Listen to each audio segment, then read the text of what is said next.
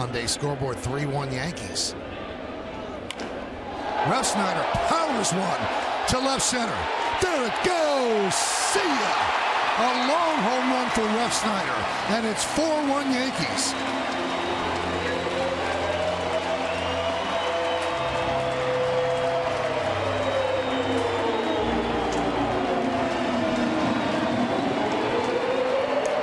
Well, that's kind of a rude welcome to uh, Mr. Hembree coming into the ball game. His first pitch, he's hit well over 400. That's about 420. At least. The back part of the Red Sox bullpen. That ball was smoked. And remember, folks, that's against the wind. A-Rod swings and misses. That ball is nailed. Measured at 436 feet.